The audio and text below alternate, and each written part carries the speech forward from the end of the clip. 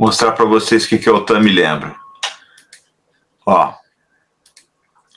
A história de Game Changer, lembre isso aqui para mim, quer ver? Ó? Vocês vão lembrar na hora.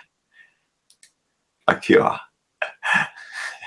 Quem é que lembra? Isso aqui do desenho do Papaléguas, que o Coyote estava sempre bolando um plano novo. Quem é que lembra aí? O Coyote estava sempre com um plano novo. Isso, a me lembra isso aí, cara, sinceramente. Me lembra essa porra.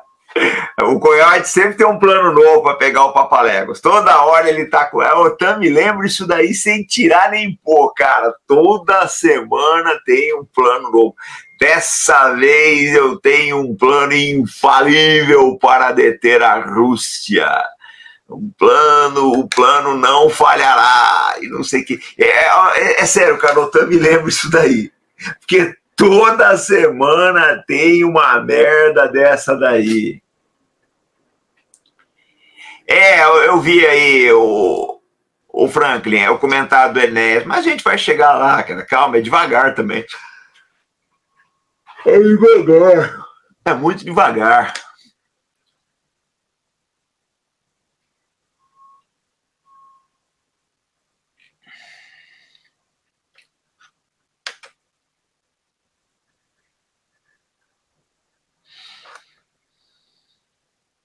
Ah, tem a corrida maluca também.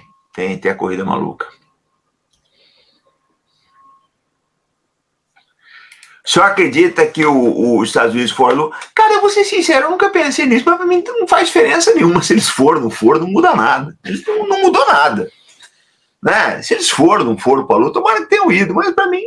Hoje eu, tô, eu sou menos propenso a acreditar, vou ser sincero, porque eles mentem tanto. Mas eu acho que não faz a diferença.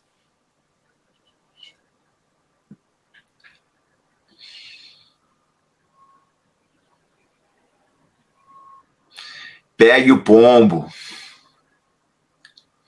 É, o Papalégua pe pegava pesado e não, não conseguia nada. Olha só, gente, essa história da OTAN mandar tropas, eu acho bastante, eu acho pouco provável isso. Eu acho muito pouco provável, porque aí é risco direto, né? A OTAN mandar tropas para a Ucrânia, eu, eu considero risco direto eu não acho, né? É, eu não acho que eles vão partir para esse expediente, mas tem que esperar também, vamos ver, né? Vamos ver qual vai ser o próximo.